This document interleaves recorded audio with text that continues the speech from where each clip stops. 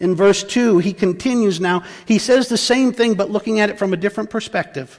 God's word. By this we know that we love the children of God. By this we know that we have koinonia, that we have supernatural unity when we love God. We know we love his children when we love daddy. And, conjunction, we obey his commands. The truth of the matter is you will love in truth when you obey in truth and love. Again, we said three pillars truth, love, and faithful obedience, where John keeps coming back to it in a circular pattern. Here we see it right in this passage.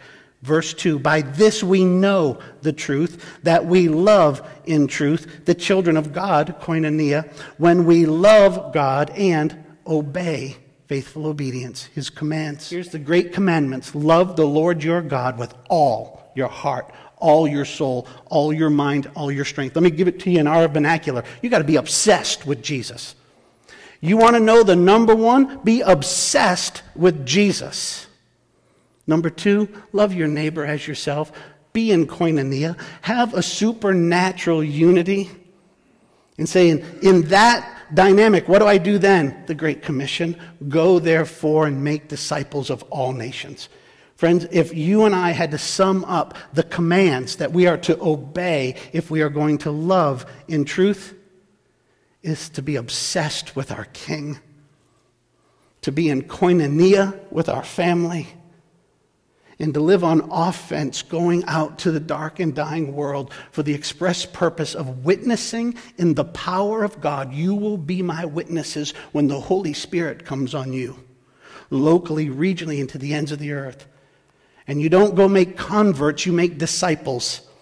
God didn't call you and me to be a part of building orphanages spiritually. He called us to be a part of building an army for our King. That's what a disciple who makes disciples who makes disciples is. We're to be discipled warriors. He says, The proof of all this will be your love for God and your love for my people. A vertical and a horizontal love will tell the story of one's life. It doesn't matter what somebody says with their lips, it's a matter of what they do with their lives. And God's word makes it clear. He says, Those who love me will obey me righteously. And those who obey me will love me righteously. You can't pull these two apart. When we say, Oh, I love the Lord, I love the Lord. Friends, I believe that the problem that is plaguing our country and so much of the cultural church is that we have so cheapened this word love. We don't even really like Him. We just know that we're supposed to, so we check off and we do the things. If you loved Him, you'd be obsessed with Him. My heart breaks because the professing church is telling a lost and dying world that they're fine.